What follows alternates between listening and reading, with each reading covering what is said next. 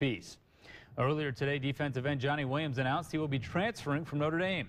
Williams is a native of Benton Harbor, played his high school ball at Berrien Springs.